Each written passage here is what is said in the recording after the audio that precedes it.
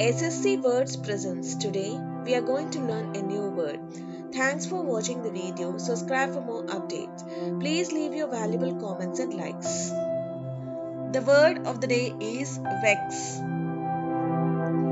Annoy, distress, irritate.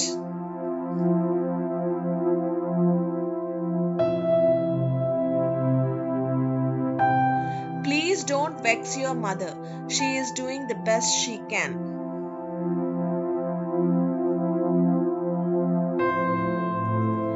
Doctor got vexed to answer when many people asked the same question one after other. If you attempt to vex the dog by pulling the tail, it will bite you.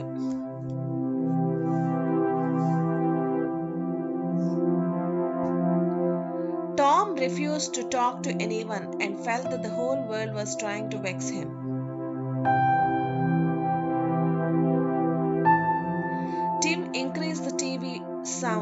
Vex his wife.